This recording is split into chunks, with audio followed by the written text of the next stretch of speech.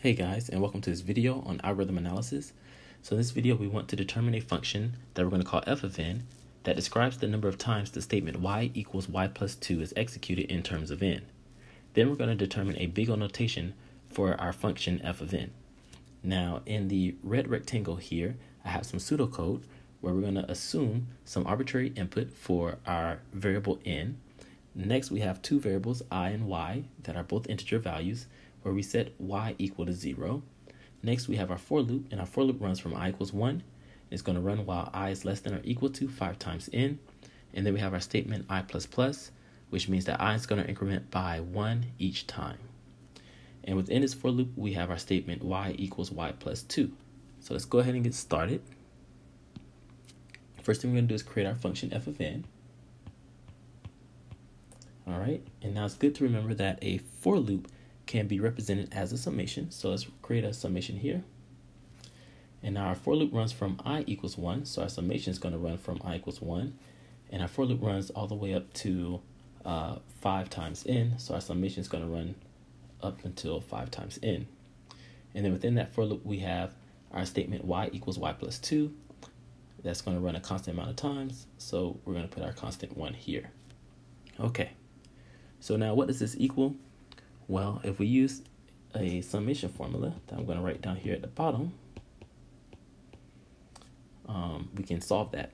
So this summation here says that we have a summation from i equals 1 to n of 1, then this is equivalent to just n.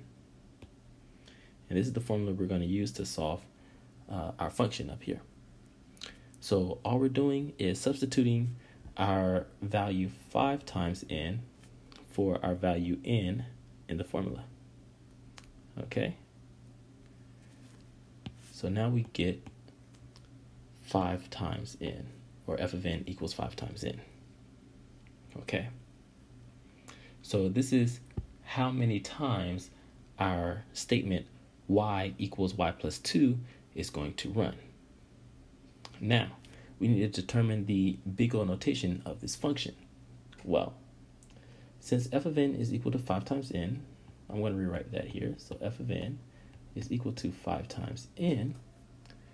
This implies that f of n belongs to big O of n. Now, why is that? Well, because 5 times n belongs to big O of n. But why is that? Well, recall that when we use big O notation, we drop constants and low order terms. And so that's exactly what we did here. We dropped our constant and we just get n. So this is our answer. So thank you guys for watching. Uh, please leave any questions you have in the comment section, likes. Don't forget to subscribe and share the video if you found it helpful and think others can find it helpful as well. And again, thanks for watching, and I'll see you all in the next video.